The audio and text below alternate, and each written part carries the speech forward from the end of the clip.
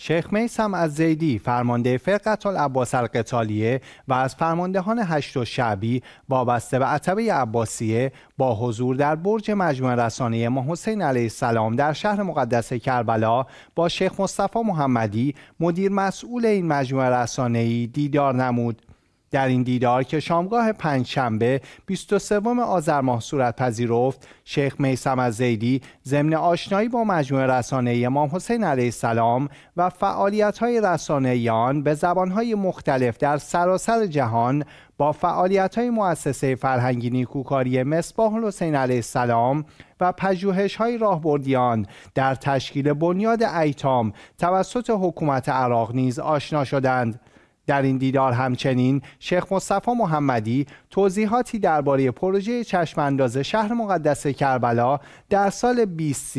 جهت استقبال از حضور 50 میلیون زائر در کربلا معلا ارائه دادند. شیخ مصطفی محمدی همچنین به بررسی راه های قانونی بازگرداندن مناطق نخی و الرحالیه به استان کربلا که, از... که در زمان حکومت بعثی ها از زمین های این استان جدا شده و از جهت اداری به استان انبار سپرده شده است سخن گفتند. شیخ میسم زیدی فرمانده فرقت العباس القتالیه و از فرماندهان هشت و شعبی وابسته به عتبه عباسیه نیز در این دیدار از وضعیت خوب امنیت استان کربلا به ویژه در جهت غرب این استان و تسلط کامل نیروهای فرقت العباس به فرماندهی ایشان اشاره نمودند.